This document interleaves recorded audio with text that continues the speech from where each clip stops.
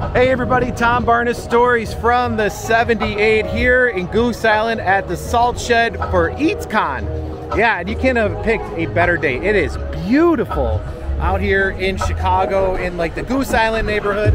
I'm gonna talk to some folks about what EatsCon's all about for this story from the 78, but I just wanted to give you an aerial view. Sorry it's a little windy, but I uh, couldn't pass up this shot here. So check this out. Uh, this is the story from 78. All right, so you're taking a look at EatsCon right here in Chicago at the Salt Shed. I'm here with my friend Arden. How are you? Hey, I'm doing great. Welcome to EatsCon, Tom. Thanks for having me. So you're the editor-in-chief of Infatuation, right? That's right. And that's what who's putting on this fantastic event. So for folks that don't know what that is, can you explain a little bit about Eats, EatsCon and its involvement with Infatuation? Yes, absolutely. I'll actually start with the Infatuation. The Infatuation is a restaurant review platform. We share honest recommendations for restaurants and bars across the world. And when I say honest, I mean it. We go to every single restaurant and bar that we write about. And EatsCon is our food festival. It's like a music festival, but you swap the music headliners with restaurants. Every single restaurant that you see here is handpicked by our editorial team here in Chicago. And uh, we're really excited about all 20 plus of these restaurants.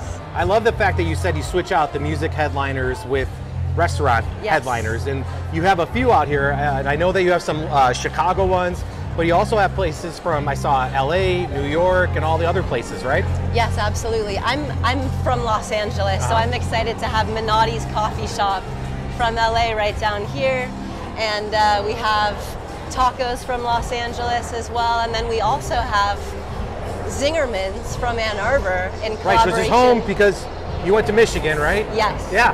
I went to Michigan, U of M, Go Blue for uh-huh. undergrad, and um, we've partnered with Shake Shack to bring Zingerman's here to EatsCon Chicago, and they're doing this ridiculous pastrami burger that I haven't tried yet, but you better believe I'll be trying it soon.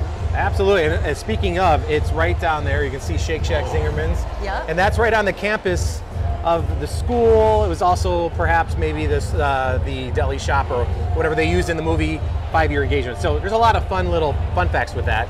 But as far as this uh, footprint here, have you ever?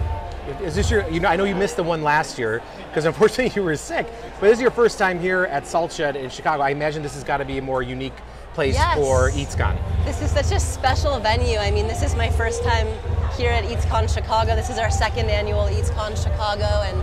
Uh, I was just learning a little bit about the history of the salt shed in this neighborhood, and it's just so such a wonderful event space. We're happy to be here.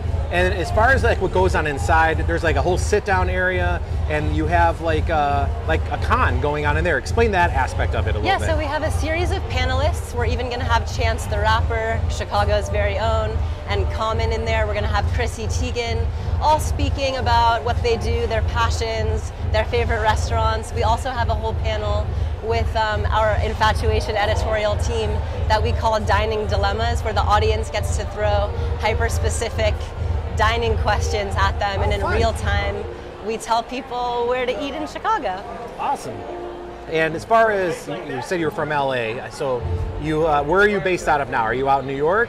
I'm actually in New York. In New York. All right. I so, just moved back to New York from okay, LA. but you're from LA. Yes. And you've been to Chicago, New York. Who has the better pizza? Oh my goodness.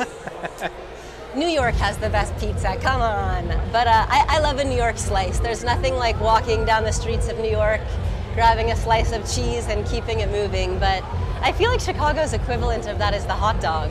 There's it nothing is, very like much a Chicago so. dog. And a beef sandwich. And I mean, with Italian the bear beef. and the whole thing, Italian beef sandwich. Oh, one of the craziest things I've done in my job at The Infatuation is gone on an Italian beef crawl with The Infatuation Chicago team. Really? We went to five or six different beef spots in one day.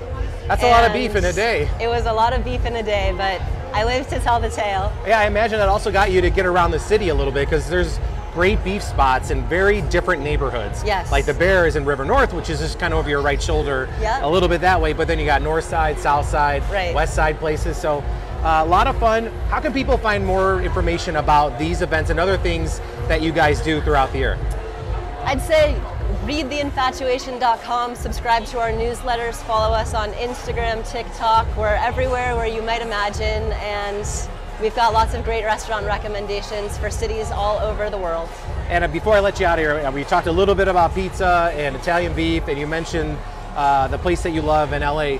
If people are coming here and they have five minutes in their day, Yeah. what is one of the places they should? I know they should try everything, but if Yeah. there was that one unique thing that people are like, "Oh, you got that's the thing." Is it the mashup, the Shake Shack mashup, or is it uh, another spot here? I'd say you gotta try the Shake Shack Zingerman's mashup, but my favorite spot that's here is actually Momo World, which is a Nepali spot here in Chicago, and they have these dump- Tibetan dumplings that are so delicious and special and unlike anything else I've had before.